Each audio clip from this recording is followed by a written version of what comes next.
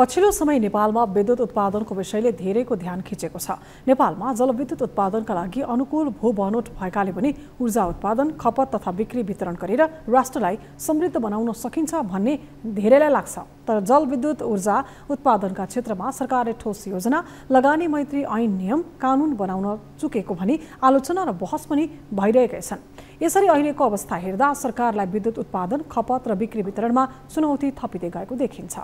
एक रिपोर्ट ऊर्जा उत्पादनको जति चर्चा भइरहेको छ सरकारलाई ऊर्जा व्यवस्थापनमा उति नै चुनौती पनि थपिरहेको छ। त्यसरी पनि होला नेपालमा प्रचुर सम्भावना रहेको जलविद्युत ऊर्जा उत्पादन र खपत गर्ने कुरा यति बेला सरकारका लागि टाउको दुखाइको विषय बनेको छ। उत्पादन भइसकेको ऊर्जा खपत बढाउनका लागि पर्याप्त प्रसारण लाइन गर्ने क्रममा वन स्थानीयको अवरोध हुनु ऊर्जा खपत बढाउने क्षेत्रको वास्तविक अध्ययन अनुसन्धानको अभाव हुनु विद्युतीय सवारी सञ्चालन मैत्री नियम ऐन कानूनको अभाव हुनु राज्यले निजी क्षेत्रलाई उत्पादित ऊर्जा निर्यातको ढोका नखोल्नु लगायतका समस्याहरू चुनौती बनिरहेका छन्।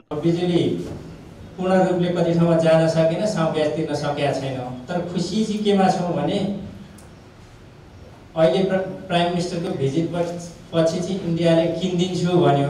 हामीलाई किनिदिन्छु भन्नु नै ठुलो धेरै ठुलो कुरा हो। अब किन्नलाई टाइम लाग्ला कहिले किन्ला आफ्नो कुरा हो त्यसलाई आफ्नो प्र होला। किनभने हामीले धेरै उत्पादनमा लागिसकेका छौँ। अहिले अब नेक्स्ट इयर रोकेर रोकिँदैन हामीसँग चार हजार मेगावाट बिजुली हुन्छ। नेपाल विद्युत प्राधिकरणले नै हाल मुलुकभर एक लाख तीस हजार मेगावाट विद्युत उत्पादन क्षमता रहेको प्रक्षेपण गरेको छ तर यसमा पर्याप्त मात्रामा अध्ययन अनुसन्धान र लगानी हुन सकेको छैन।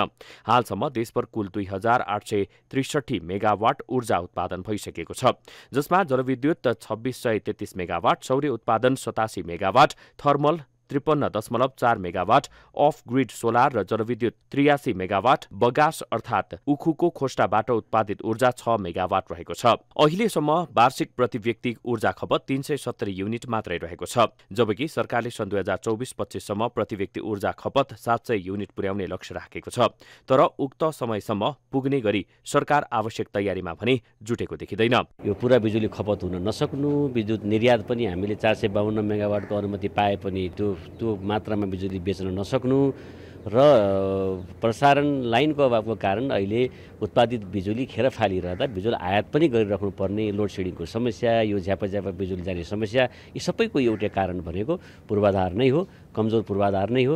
त्यस कारणले अहिले ऊर्जा सेक्टरमा अब सबै सबै कुरालाई समावेश गर्दा एउटै चुनौती भन्नुपर्दा त्यो भनेको पूर्वाधार नै रह्यो। सरकारको कमजोर तयारीका कारण पनि ऊर्जा उत्पादन वितरण आन्तरिक खपत र बाह्य निर्यात गर्ने विषय निकै पेचिलो बन्दै गएको छ। कसले बनाउने भन्ने कुराको सन्दर्भमा पनि हामीले केही वर्षदेखि चाहिँ यो सरकारी निजी भनेर जसरी छुट्याउँदै आएका छौँ यसमा पनि हामीले हाम्रो सोच्ने तरिका चेन्ज गर्नुपर्छ। नेपालको निजी क्षेत्र भनेको पनि यसलाई हामीले जुन सरकारी भनेको जस्तै हो कि?